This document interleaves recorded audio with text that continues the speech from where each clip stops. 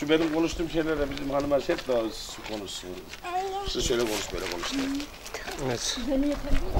Abla sen nerelisin? Ben buralıyım, Melikli köyündenim. Melikli köyündensin. Muhtarın Muhtarım, eşisin. eşiyim. Evet. E, peki köyün sorunları neler var sorun olarak? Köyümüzün, köyümüzün sorunu su. Hani hanımlar olarak hanımların yerine konuş- konuşayım. Suyumuz yok. Haftada bir kere bir sefer suyumuz geliyor. Onu da kovalara dolduruyor. Onu hani hem çocuklara içirmek zorunda kalıyor hem harcamak zorunda kalıyor.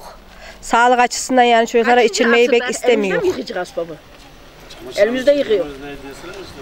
Bu başbakanın arkasındayız biz. Evet. O bizi hiç düşünmüyor. He. Heh. Biz hiç suyumuz yok. Köylü olarak düğün salonu istiyoruz. Düğünümüz Evet. ne olduğu zaman yağmurun altında kalıyoruz. Yağmurun, çadır çadır çekiliyor. Çadırın altında büyükler duruyor ama çocuklar duramıyor.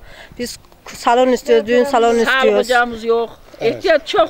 Muhtarımıza diyor ha. Muhtarımız önder ol. Ben konuştum zaten. Sokaklarımıza parke taşı istiyorlar köylü olarak.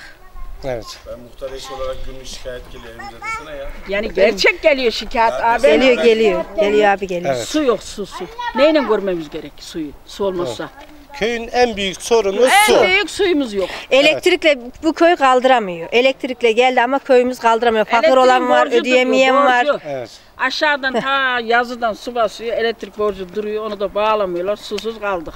Evet. Biz elektriksiz su istiyor yani köye. Anladım. Daha da Tamam taşta abla. su mu yok? Var. Siz öncülük yaparsanız